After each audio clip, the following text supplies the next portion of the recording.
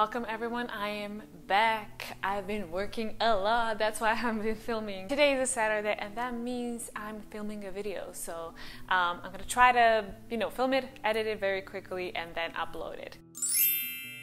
Today I'm also trying out my new microphone, so let's see how this is going to work out. But I'm very optimistic, um, and I guess I shouldn't touch it because, you know. And before I move on to this segment of the video, I want to remind you that I do have Patreon.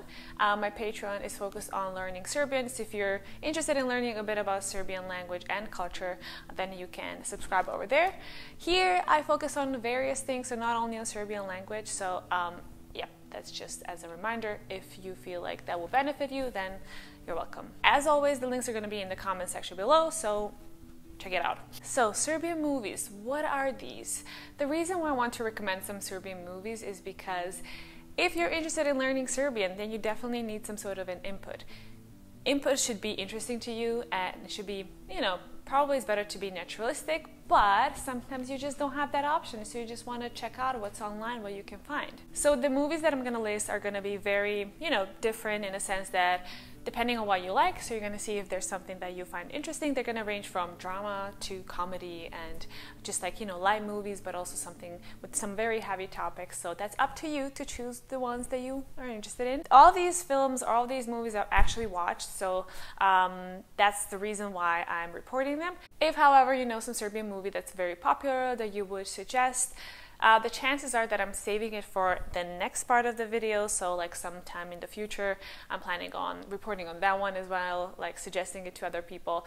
Um, there is also a chance that I haven't watched it because I'm very bad with Serbian movies. I've usually watched, you know, like Hollywood movies, like all my media was just, you know, definitely not Serbian. I wasn't surrounded by Serbian movies or series that much. Take this, you know, just as a small list where you can start and um, yeah, you can build up later on. Okay, let's start with the list. The first movie is Zona Zamfirova. Zona Zamfirova is a name. Um, well, first name and last name, and basically it's based on a novel by Stevan Sremac. Um, and it also became a very popular movie. It's basically a comedy, it's like a rom, rom-com, I guess. Um, it is situated in the southern part of Serbia, which is um, in the town, I think in around the town of Niš or in, I'm not sure, but yeah, the town of Niš, um, and they use a specific dialect. So sometimes it's going to be very difficult for you to understand. So maybe you're going to need some subtitles. So the timeline is somewhere um, around the beginning, well, the first half of the 20th century, where there is this girl and guy that fall in love. She's from a rich family, he's from a poor family, he's a craftsman, and basically these two do not go together, which means that he has to either give it up or uh, create a plan to win over her parents and her as well and this is basically what the whole story is about. So if you're into watching a rom-com something very light very easy to grasp then uh, maybe that's the movie for you. The next movie is the marathon family which is also called in serbian maratonci trče počasni krug um, and it's a very dark comedy. Basically, it talks about a family that's been dealing for generations already uh, with coffin making. So they're, you know, uh, dealing with coffins, and um, the youngest son is actually the first one who declines and does not want to continue with this business, and um, he has his obviously love um, and things over there do not go that well. And there's this whole you know basically kind of reminds me of a bit of a telenovela but there's like so many tragedies that happen but at the end of the day it's very funny. So if you're into something like that that that uh, might be of interest to you. Again a very very very famous movie so check it out. Okay let's talk about the third movie. It's another comedy but you know there's some truth to it. We are following lives of people in belgrade and they have their own weaknesses um, and they're all guilty of at least one of the seven deadly sins uh, like wrath and gluttony and pride and lust, so on and so forth. And um, there's always like a specific story to for each deadly sin. And I don't know, it's just portrayed very, very real, but also uh, in a very funny way. So you're gonna enjoy this one. And of course, we're gonna have to have a movie about some war. This one is called Pretty Village, Pretty Flame, or Le Selo, Le Gore. Um, and it talks about uh, the Bosnian War. And basically, the plot is we have soldiers, Serb soldiers that are trapped in a tunnel and they're contemplating about their lives, about their, you know, um, previous years and what the war brings them and how they, some of them turned against each other uh, and before they were friends. Okay, this one is a cult movie. It's called We Are Not Angels, Mi Nismo Anđeli again a comedy i really really like these type of movies they're just like you make me laugh in this one you have many pop culture references so everyone i am sure that any serb is gonna know this movie uh, it's a story about a um, guy in i guess belgrade as well yes, in Belgrade. I'm just looking at the script. Um, and uh, he's basically a playboy.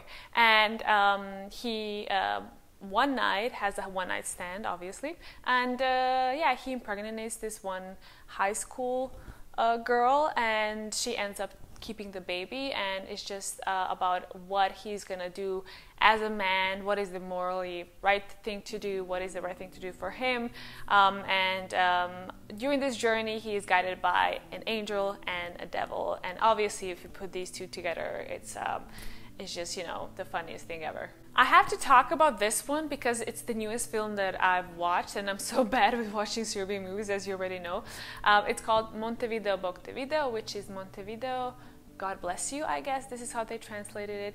And again, it's um, it's filmed very differently. Obviously, it's very well filmed, and it talks about Yugoslavian uh, soccer team and how like the story of not each player but many players how they got together and how they got to go to montevideo in uruguay. Um, and then there is a second part where a second movie which i haven't watched but i'm definitely to watch it these days if i can find it here in germany. Um, and yeah so it's a sequel and uh, the sequel talks about the whole, you know, the whole charade or the whole competition part. So, um, and as far as I remember, we got a bronze medal. So that was quite a success. If you want to know something about Tito, Josip Broz Tito, or time um, during his reign, and um, and I'm, I guess many people know about him as well. So you should watch a movie called Tito and Me, uh, Tito Ja, which talks about this one little kid, a bit, you know um, chubby, and he's living with um, in a house crowded with his parents, with his cousins, and it's just like a very tough situation um, for Yugoslavia. And his family hates Tito, but he idolizes it because this is the only thing that he learned in school. And then, uh, after writing one essay on the topic of uh, why he likes Tito, he wins a trip and where he finally meets Tito. So uh, the whole thing again is just full of humor. So if you're up for that, then that's that's a movie for you. One of my personal favorite movies is Barking at the Stars, Lajanje na zvezde. Again, a comedy. I guess my next part is gonna be just like about like dramas, thrillers, or whatever, because apparently I love comedies. Um, and yeah, it's a story about high schoolers, their final year, the final month, I guess, or like the final weeks. And you know, there's a lot about romance and uh, how funny the whole situation is. The teachers, um, how they, uh, how friends, friendships function, um, and reminiscing. I think it was like 20 years afterwards, um, how how it all went basically, and uh, it's just the a classic, a classic. You have to watch it. A very, very funny movie. The last one that I have, if you're into romance, this is for you. It's called uh, Samac u which is Alone in a Marriage, I guess, something like that. I don't really know how they translated it. Uh, the reason why I'm mentioning this one is because it's based on a book by Mir-Jam, which is she's kind of like a Serbian Jane Austen. and um, the reason why I'm mentioning it is because you can find it on YouTube. So you can just write down Samac u braku, or which is well, let me explain it this. Uh, you can find it online as a series, which is you have like 10 episodes or something like that. But if you're like, I'm not interested in that, I just want like short, the same story but just shorter in one hour, then you can type in Kad ljubav zakasni and I will link it everything below or like write it down or whatever. Um, and uh, yeah, so you can enjoy that one as well. Pop some popcorns and enjoy Serbian. Hopefully, this is gonna help you. And I don't really know where you can find these movies.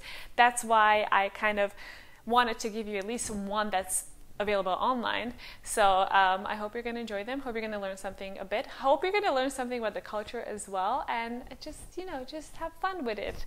Um, and stay tuned for part two.